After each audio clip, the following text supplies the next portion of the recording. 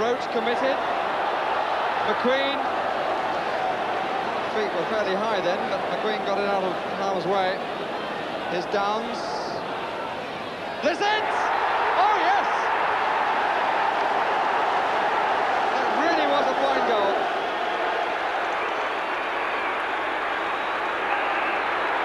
Pollard.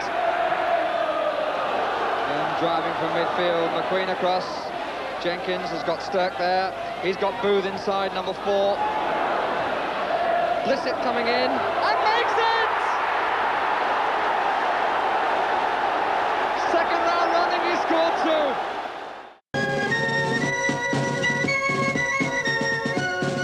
Sailed across the goal. Jenkins makes a nod it on for Blissett. 3-0 to Watford after 26 minutes.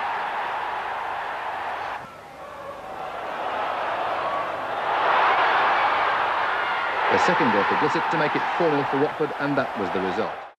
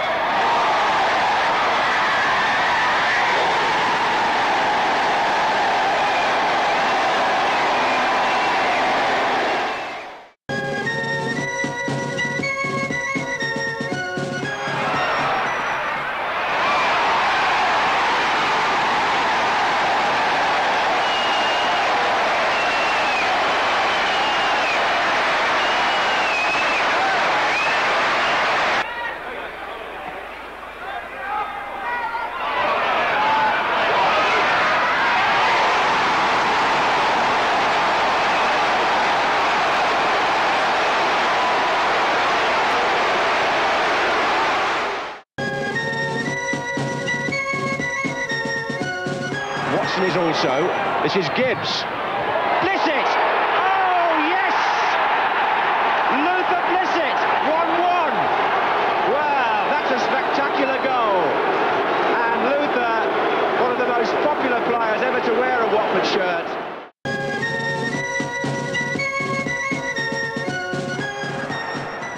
Blissett, good goal. Simple, but so well executed. Controversy here looming. He's onside, is Blissett, and Lukic is saved, and Blissett again, a goal. But Arsenal must go back to the referee because the linesman on the far side was flagging in the previous attack. Now what does Brian Stevens do here? Involved in controversy in the Arsenal-Watford fixture for the second year time running this season and he has awarded a goal to Watford scored by Luther Blissett and confirmed that Watford are in the semi-final.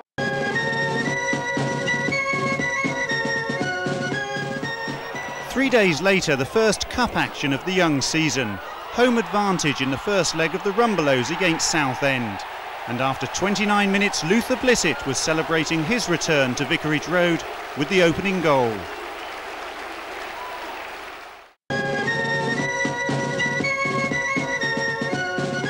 It was a memorable day for Luther Blissett, his 458th appearance for Watford, breaking Duncan Welbourne's record set in the 60s and 70s. And when Joe McLaughlin headed back across goal, who else was on hand? Yes, it was Luther putting Watford in front.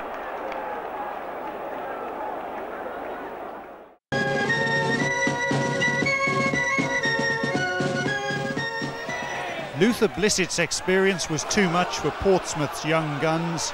The first for Blissett after brushing aside defender Kit Symons.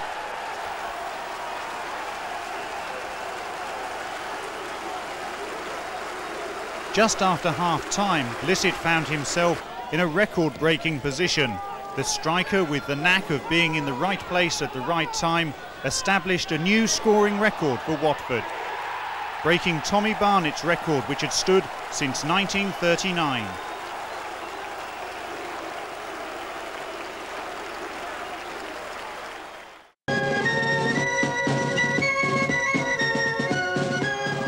Watford equalised with only eight minutes left. A brilliant finish from Luther Blissett. Peter Shilton could only watch in horror.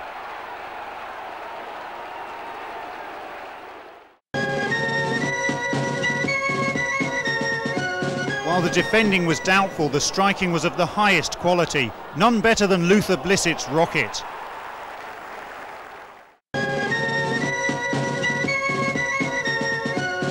Mark Hazelwood became the third City player to see red. Watford lost only one of their last 13 games. Luther Blissett took his personal tally to 12 goals for the season.